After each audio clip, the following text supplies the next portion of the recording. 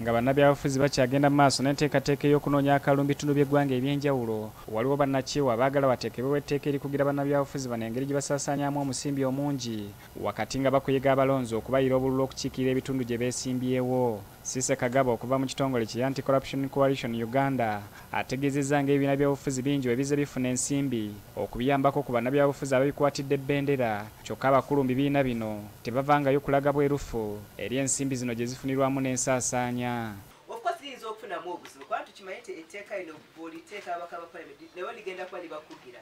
Tetumanyi oba naalikkiriza okuliisa kubanga bwe babaliisa naye libaligenda kufuna engeri gye ligenda okubakosaamu naye nga kyetwagala okulaba nti tukendeeza ensimbi ezisaasanyizibwa mu kalulu oba ensimbi ezisaasanyizibwa mu byokulonda kubanga ensimbi zino nyingi ate abamu tetumanyi namakubo gye bajja nsimbi zino. Waliwo etteeka era tusaba nti paalamenti ey'ekumi n'omu ey'ekumi n'emu egera okulondebwa mu bbiri abiri mwezi ogwa january ogujja kyeba etandikirako bannakiwa bano okubadde aba anti-corruption coalition action aid ne transparency international babadde mu lukuŋŋaana lwa bannamawulire ntinda wano mu kampala.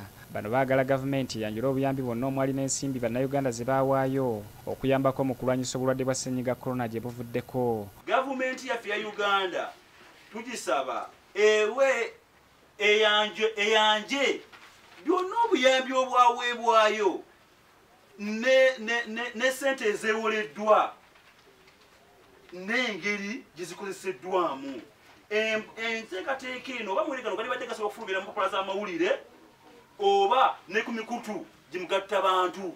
Kibeere kubanga zo sente bazize ziba zize nga za ggwanga. Kati lwaki abatuuze tebakimanya? Mu ngeri yemu bannakiwa bano bennyamivu n'ebikola ebyokulinnyirira eddembe ly'obuntu eririwa mu kiseera kino eky'ebyobufuzi kyokka nga akakiiko akakola ku nsonga z'eddembe ly'obuntu tekalina akakulira mu kiseera kino.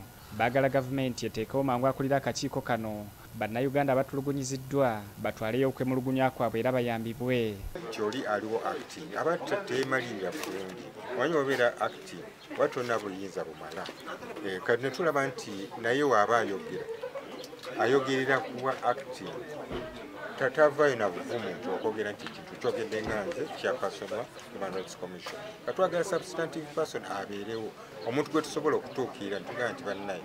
Ebigenda mu maaso temubiraba bannaye okutobola eddembe ly'obuntu ekitongole kyamwe kigamba ki? Zubairi lwalira bbs terefayina gambuze mu ddiiro lyo